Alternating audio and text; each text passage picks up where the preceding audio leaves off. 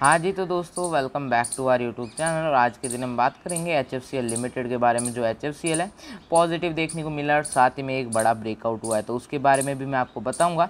तो सामने chart pattern बनाऊँगा, क्योंकि कई इन्वेस्टरों को विश्वास नहीं होता कि कब आपने ऐसे चार्ट चार्ट पैटर्न बना क्या है और पहले से स्क्रिप्टेड है। इसलिए मैं आपके सामने बनाऊँगा चार्ट पैटर्न और आपको बताऊँगा कैसे चार्ट पैटर्न बनता है और साथ में टेक्निकल एनालिसिस करेंगे।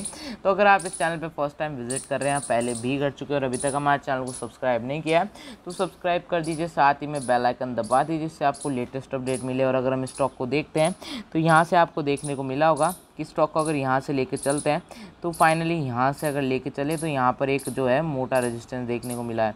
और अगर ये रजिस्टेंस ब्रेकआउट यहाँ पर अगर देखा जाए तो 15 मिनट की कैंडल में एक सपोर्ट पैटर्न भी ज़रूर देखने को मिला है।